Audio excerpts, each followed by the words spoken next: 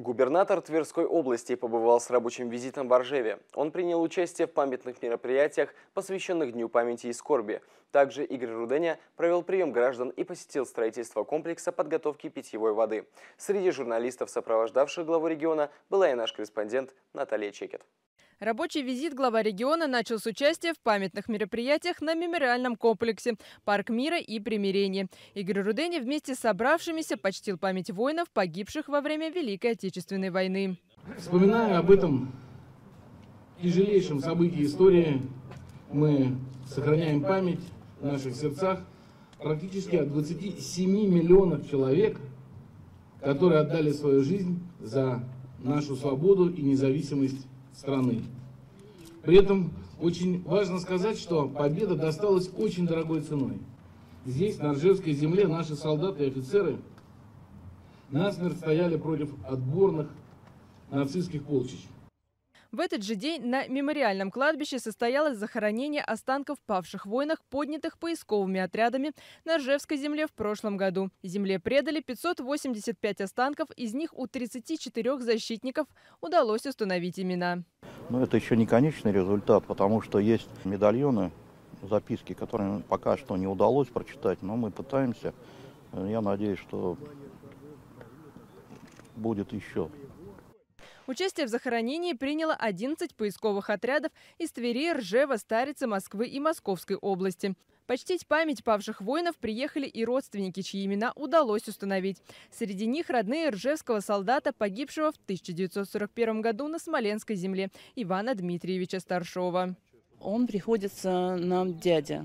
Мы даже уже не ждали, у нас э, не было уже никаких мыслей по этому поводу, что его когда-то найдут. Жаль, что не дожило то поколение которые его знали воочию и помнили.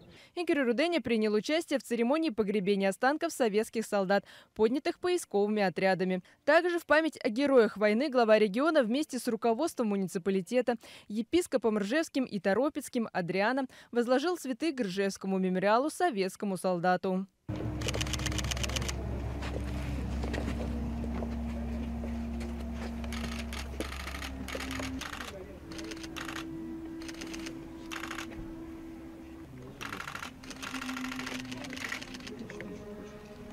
Во время рабочей поездки губернатор провел личный прием граждан. Жительница Ржева Ирина Никифорова обратилась с просьбой отремонтировать фасад многоквартирного дома номер один по улице Краностроителей. Он находится в центре города.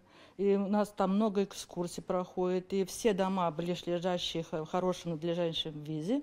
А наш дом стоит э, не в очень хорошем состоянии. Ремонт крыши нам сделали, а фасад никто не делает. Мы обращались в управляющие компании, обращались в администрацию, но так никакого ответа мы не получили.